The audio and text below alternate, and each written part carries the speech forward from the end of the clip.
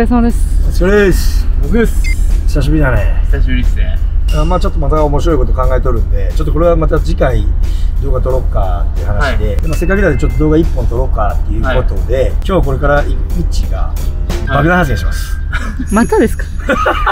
よく爆弾発爆弾発言って言ってもまあまあシャレにならん爆弾。爆弾ああしゃれないな。ちょっとなさすがにな。30歳でこれはって感じ そんなやばいやつですね。多分男として30で見たらううんん多分もう即切りだよ。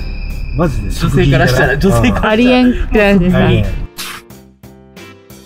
発表していただきましょはい。お願うミいします。ッチーさん。一体何があったんですか？許取り消しになりました。車の免許？取り消し。え普なんで？通ですか？あ？普通の免許普通の車の免許だよ。普通の車。全部だよ。な今ジェットの免許あるジェッ車の免許ト取られるんだ。はい取れないあ車と関係ないんですか？関係ない。関係ない。原付とかも乗れになるんですよ乗れないです？ななんでもうあれですね。現場とかもジェットで行ってますああなるほど。何年の年4年ですね。4 4年年？4年です。長くないですか？なんだよ。もうこれ動画ボツだよこれ、まあ、4年。免停じゃなくて免取りですか？4年免免取り免取り取りじゃあ最初から取りに行かなきゃいけないってことですか？最初からえしかも4年後に。4年後に。4年後 ちなみに俺も免許取り消し買って29で免許取り消し30だどこまで行ったら取り消しになるんですか？俺はスピードがなんかじゃなかったかな。最後。積み重ねみたいな。積み重ね。いろいろなんかあるんですよね。人身事故とかひどいってやばいだろ。人身事故もひどいとやばいですし、あとスピード違反も60キロ制限のところ180キロなんかで走ったら120キロオーバーなので、うん。一発取り消しじゃないですそれそれ神様だよ180から60 キロだか。僕なんかちなみになんですけど、うん。40キロ制限で43キロ捕まえましたから、僕。そう。3キロオーバーで？3キロオーバー。点数がやばくて、僕もう逆にもう制限速度で走っとったんですよ。うんみんなちょっと、あれじゃないですか、うん45キロと50キロで走るじゃないですか。うんうんなので、どんどんどんどん前のやつ差が離れていくんですよね。うんそうするとね、ネズミ捕りのやつって、隙間が空いてるもんで、パシャって光った瞬間にこう止めれるじゃないですか。3キロオーバーぐらい捕まりました。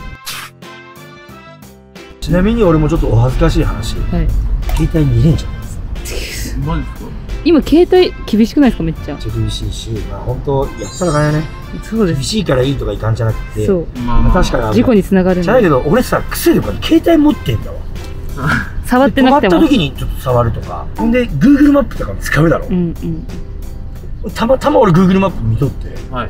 パッて見たら気づくもう横で。はい。俺だけだよね。4年のさはい。なんでなったんかこれ視聴者気になるようね、ん。なんで？だなんで取り消しだったの6点。あの、今流行りの煽り運転とかじゃないです。あ 嘘。煽られ運転だろお前。あ煽られ運転だ。累積累積もあるんですよ。一回取り消し食らったで、一回取り消し食らってるんですよ、僕。あ2年。2年の取り消し食らってるんですよ。うん。でそれで取り消しして免許取るじゃん。取って、何年経って取り消し？23で取れるようになったんで、今30なんで、で、まあ、45年ぐらいで。そうですね。そんなんでもなっちゃうな、なるですね。もう、結局一回取り消し食らったらもうそこに残るらしいんですよ。それがもうどんどんどんどんあれするんで、もう今2回目で4年じゃないですか。うんで、次やったら次、ま、次6年になるらしい。しかも結構若い子あるあるで原付の免許取って取り消しとかが結構多いんだよねああ、多いっすね。俺は車の免許18で取ってもうすぐもう19か20歳ぐらいですぐ取り消しがあって それは煽り運転ですか？煽り運転じゃない昔煽り運転って言ってなかったじゃん16歳バイクとか乗ってる時あるじゃん。うん。本当に普通になんかベンツとか突っ込んできてバーって離れたこと何回かあるんだよ。だって俺日、本刀が出てきたのかなやば。お前でも4年だったらどうすんねん。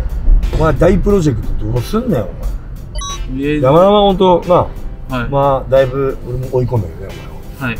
もう俺約束だから4月4月に指導する。うん。なるほど。ビジネスプラン。また約束が。成功への話。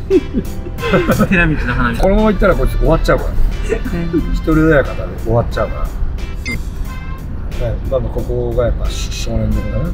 はい。まあまたちょっとテラとの企画がちょっと面白いやつが2、3個あるからね。はい。予定して。まあちょっとね免許取り消しっていう大きい、はい。うん、発表はい。まあまあ毎回決まったことでずっとまあ言ってなかったから どっちかというとまあこれネタに、ねまあなっただけなんですけどそうまあ言わん方がいいかなと思ったけど、はい。まあまあ今思えば笑い話って言ったら失礼だけど免許取り消しくなってまあ、はい。まあぼちぼちなってるから、はい。うん。なのでまあってもいいのかなみたいな、そうですね。うん。まあ最初はその時はねやっぱ変に勘違いする人もおるし、まあ、もちろんやったことは悪いことだし、はい。でも今彼がこのそのそれからもね、きちっと運転とかまあ人に頼んだりとかしてしっかりやってるからああもうこれで俺がまた捕まるような可能性があるんだったら動画にできんじゃんはいうん俺絶対また捕まると思うはい。無免許運転で捕まるはい。あだけど見てたらそれはもう絶対ないなーってもう癖になってるじゃんなってます。うんちゃんと人に送り迎え頼んでるとかだからまあそうなればまあ本当にすごいビジネス的には不利だよねはい。だからそういう中でどうやって自分が4年間で成功していくかっていうのははい。まあ彼だよね。もう時効なんで、もうすぐ乗っても大丈捕まります。捕まります。これで視聴者の人にもう告白しといてこれからは乗ります。もうあの、私やってきます時効になったんで、これからちょっと僕乗ってくんで、うんまあ、例えば街中で見てもあの警察だけは言わないようにお願いします。私が言います。私が言ってきます。うん逆にコメントで書いてほしいなビッチ車乗っとったあ、いいっすね、それ。さあじゃあビッチ頑張りましょうか、はい、そうですね。うんまあ、今日一日はい。そうですご苦労さんでしたありがとうございました。またまた力打ち遊びに行きますはい、お願いします。3月23日にオンラインセミナー YouTube とか SNS のいいこと悪いこととかメリットとかどうやって運営していくかみたいなでこれが収益あるからこれぐらいはまあ運営費賄えるよねっていうのとかその、まあ、企業がねどっちかというと個人事業主とか企業さんが SNS を活用してビジネスを成功させていこうみたいなことを、まあ、そんな俺が大それて言えることでもないかもしれんけど、まあ、ある程度ねこういう建設業で YouTube やってるから、まあ、ぜひ、まあ、1時間から1時間半ぐらい考えてますんでで1000円か会費はもうさっき決まった電話で、まあ、無料にしよっかって言ったんだけど無料で変なやつが来るやつから、まあ、1000円で儲けとかじゃないけど、まあ、1000円取って。出してでも見たいよって方がそうそうそうそう。その代わりはもうしっかり1000円取るって言ったら頑張って作らなかったす。ぜひ、まあ、興味がある人は無理してくる人もないし、ただまあ1000円払う以上できるだけねいい内容にしていきたいなと思うんであの頑張ります、まあ、一応100人来たら10万ぐらいになるのかそうですね。な、まあ、その資料を考えるぐらいの、はいはい。ね、費用はちゃんとやっぱもらっとるんで頑張ってしっかりとした資料を作ってあの挑みたいと思ってます、はい。そちらとあと名刺交換会ね。4月の2日。4月の2日。これはまあコロナで延期したやつですけど、えー再募集もして今な30人ぐらい決まってるけど、まあ、一応会場が4 5 0人、まあ、人数によってはもうちょっと大きい会場借りてやろうかなと思ってますね。会場が決まってないですけど名古屋市内でやろうと思ってます。一応1万円。で2人目からは7000円ぐらいやる。で足場会社さんはい。とか、まあ、と飛び職さん。はい。限定。でやってるから、ぜひ参加してください。よはい。ろしくお願いします。また見てね